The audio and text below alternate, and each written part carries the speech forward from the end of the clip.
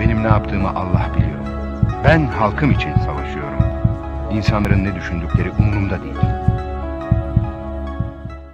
بسم الله الرحمن الرحيم يوم نطوي السماء كطي السجل للكتب